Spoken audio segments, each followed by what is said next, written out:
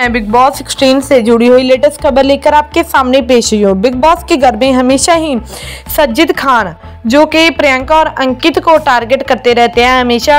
अंकित गुप्ता को कहते हैं कि जी प्रियंका का चमचा है पोपट है बहुत ऐसे घटिया शब्द बरतते हैं उनके लिए लेकिन जब अर्चना उनको चमचा कह देती है सजिद खान को चमचा कह देती है जिस बात को लेकर सजिद खान इतना ज़्यादा भड़क जाते हैं कि वो कहते हैं कि मैं अर्चना को थप्पड़ मारकर इस शो से बाहर जाना अच्छा समझूंगा लेकिन आपको क्या लगता है कि जो यहाँ पर सजिद खान कर रहे हैं क्या वो सही है जब वो दूसरों के ऊपर उंगली उठाते हैं दूसरों को कहते हैं तो तो वो नॉर्मल रिएक्ट करते हैं दूसरे के एक्शन को वो फेक कहते हैं लेकिन जब उनके ऊपर गुजरती है तब वो थप्पड़ मारने के लिए भी सहमत हो जाते हैं आपको सजिद खान की ये बात कैसी लगी तो प्लीज़ आप अपनी राय हमसे शेयर जरूर कीजिए और उनसे जुड़ी हर अपडेट के लिए बच्चों को सब्सक्राइब एंड वीडियो को लाइक नहीं किया तो प्लीज़ जल्दी से से जल्दी कर दीजिए धन्यवाद